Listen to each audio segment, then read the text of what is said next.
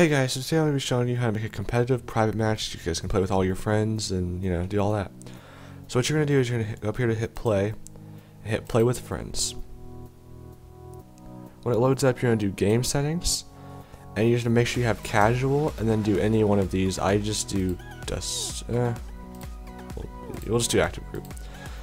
And then once you do that, you're going to go down here and change permissions and do friends need invites, so a bunch of random people just don't join your game, and hit go. For me, this could take a minute to load up because I don't play on this computer, so it could take a while. But uh, this is pretty easy. Uh, if you guys do need help with this or whatever, just leave me a comment. I can help you. As well as you guys know, you can add me on Steam if you guys need help with any of the gambling site videos, or if you have a suggestion for if y'all want coin flip or something, leave a comment down below and I can help you out. So now you're gonna just select a team, and you're gonna open up your console. You're gonna do change you change level, you can click right there, and then you can do like DE underscore dust 2.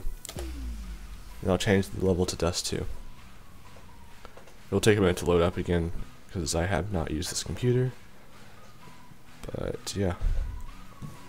Like I was saying, you guys can always ask for help for any of the gambling site videos. Anything, just add me on Steam. I'll be happy to help you guys. Um, I haven't been on a lot recently just because of the fact I've been busy. But I'll still try to get around to you guys at night and try to respond to your questions. So yeah. So this is there's only four commands to this. I'll leave them all down in the comments section or the description so you guys can look at them up and type them in. So you'll choose a team, and you're for this you're gonna do the exec. Then you'll do game mode underscore competitive right here. You'll hit enter.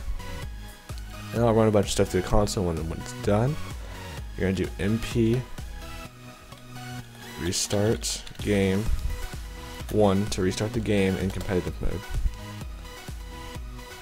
Now you can see there's a ton of bots on my team. So now you can do bot underscore kick. And now all the bots are gone, you're ready to play with your friends. So thank you guys for watching. If you uh, liked this video, please like, comment, subscribe. If you didn't, let me know down in the comments of what you didn't like, dislike it, you know, all that stuff. Uh, if you guys want to see like special videos or something, just leave a comment. I can get on that because I'm still looking for some more videos to make that are kind of a little bit more interesting for you guys. So if you guys want to see like different gambling videos, just let me know down in the comments and I can work on that.